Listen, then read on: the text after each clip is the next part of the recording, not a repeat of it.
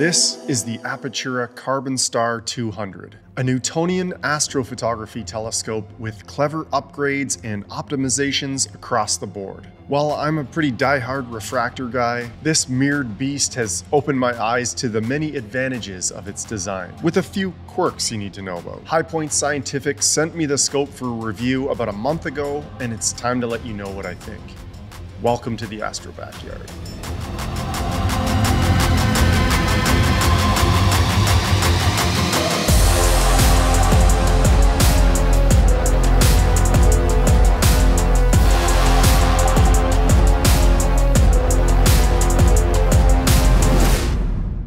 First things first, this is an f4 telescope with a focal length of 800 millimeters. This is considered fast in terms of light gathering ability and sits in the mid-range of magnification and field of view. Unless you're a compact refractor lover like me, and then 800 millimeters feels crazy deep. Here's an image I took of the Western Veil Nebula to give you a better idea of what to expect. See that glorious diffraction spike in there?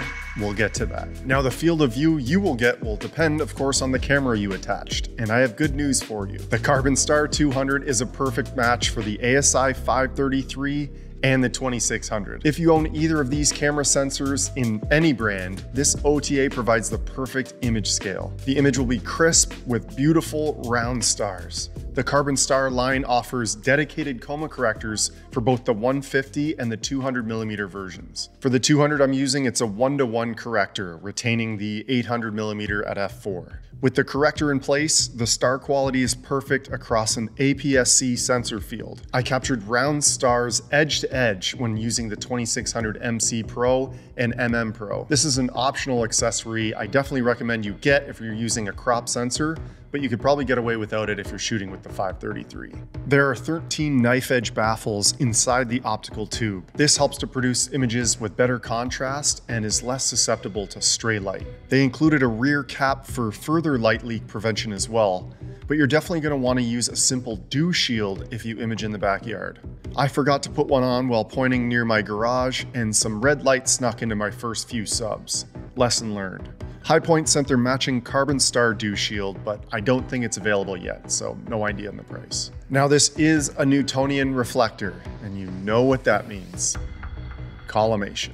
Do yourself a massive favor and pick up a simple laser collimator to align the mirrors before you start your session. The process involves using an Allen key to first adjust the secondary mirror so the red light is centered on the primary. Then a couple of slight tweaks to the adjustment knobs on the primary mirror until the red light is centered in the bullseye. Honestly, it's pretty painless and I do this before every session and after a meridian flip. In terms of rigging this thing up for astrophotography, the telescope comes with a small mounting bracket for a guide scope. A mini 32 millimeter guide scope works fine with this scope, and you should be able to balance the load no problem. I've mainly been using the Carbon Star 200 with the 2600 MC Air, which is a match made in heaven. The camera has a duo sensor design, so I can image and auto guide through the primary scope. It also includes an ASI Air to control the mount, plate solve, and automate the entire session. This is how the entire kit looks when it's rigged up. I just love how simple it is. The OTA only weighs 15 pounds, so I can pick the whole thing up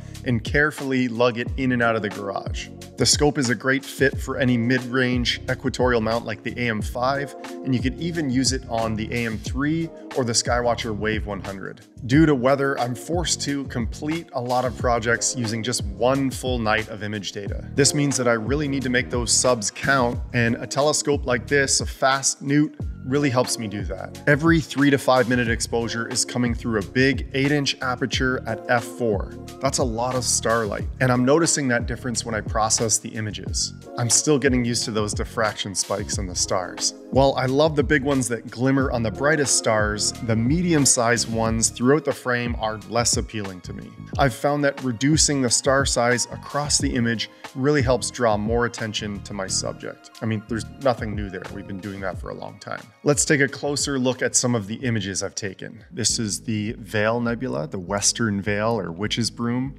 You can see that beautiful diffraction star spike in the central star there, which I love. So this is the field of view with the carbon star and a crop sensor camera, the 2600 MC Air I used here with the Optolong L Extreme filter. So you can see the stars look great across the edge of the at the edges of the frame. Everything looks good there. Again, this is a stack. This is about four hours here if we're just cruising around the edges. So, uh, you know, no uh, gradient exterminator or anything done to the image yet. This is just the straight stack. If you want to see the blink of these image frames, you just play it through here. You can see as I did the meridian flip, and it really didn't lose focus throughout the night. I was kind of surprised about that. I'm not using an autofocuser, but the star size stayed pretty well the same uh, without any adjustments over about a four hour period. So I don't know if that's due to the carbon fiber materials used or what, but that was a nice surprise. I thought I'd have to refocus a lot more. Uh, another project I shot was the Cave Nebula, again with that 2600 MC Air and the Optolong L Extreme. That's what the raw stack looks like there. So a pretty exciting image there. A little less intense than the Veil, but a cool object nonetheless. And then here is uh, some RGB data. So this is through RGB filters in uh, 20, 120 second exposures, just combined to get the natural star colors in the Cave Nebula. So everything looks good there, and you can see that the, you know, across a crop sensor camera, the, the field illumination is great with, uh, with the Carbon Star 200. If we hop over to Stellarium, I can show you the field of view you'll get with the Carbon Star and, and a crop sensor camera. So with Andromeda coming up soon, that's a popular target for August and September, it's gonna have to be a two panel mosaic with this telescope and a crop sensor. Uh, you can see at 800 millimeters, you'd have to do one side and then the other.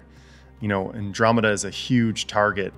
Other things like, uh, you know, the Pac-Man Nebula over here would be a great fit at 800 millimeters. The Lagoon Nebula, I believe, will fit in this field of view. If we hop over here, and just rotate it a bit. Yeah, so the Lagoon Nebula would be a good choice for the Carbon Star. You can get that before it's gone this summer, the Trifid. So 800, pretty practical focal length with this crop sensor camera. So hopefully it's useful to you to see uh, some of the raw data captured with this system.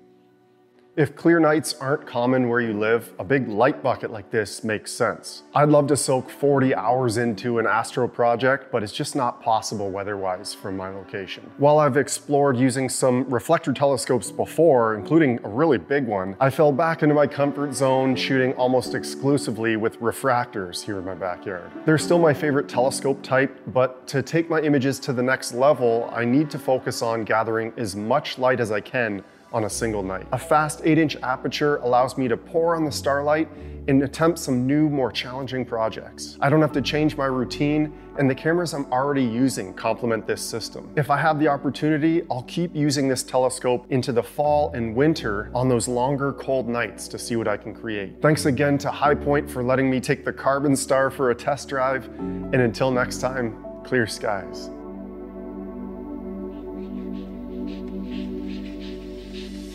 Thank